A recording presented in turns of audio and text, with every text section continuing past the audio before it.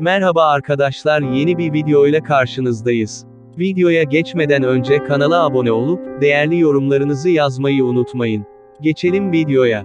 Türk televizyonlarına bir dönem damgasını vuran, Kurtlar Vadisi'nde canlandırdığı, İplikçi Nedim, karakteriyle hafızalara kazınan İsmail İncekara, 72 yaşında hayata veda etti.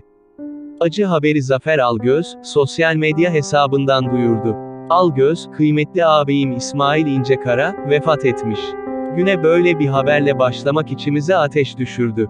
Başımız sağ olsun dostlar, mesajını yayınladı.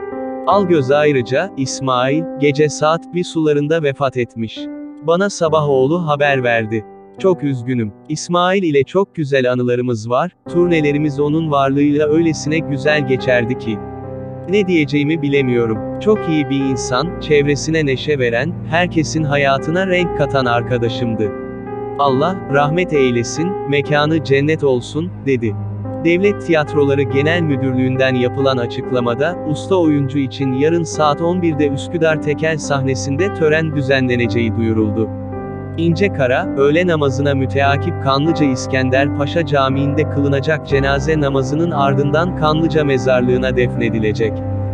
Devlet Tiyatroları Genel Müdürü Mustafa Kurt, İsmail İnce Kara'nın vefatı dolayısıyla bir mesaj yayınladı. Kurt, Türk tiyatrosunun değerli ismi emekli sanatçımızın vefat haberini büyük bir üzüntü ile öğrenmiş bulunuyorum. Sanatçımıza Allah'tan rahmet, ailesine, sevenlerine ve sanat camiamıza başsağlığı diliyorum, ifadelerini kullandı.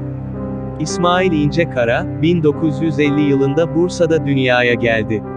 Çocukluğu Sakarya ve Kanlıca'da geçti. Kabataş Lisesi'nde yatılı olarak okudu.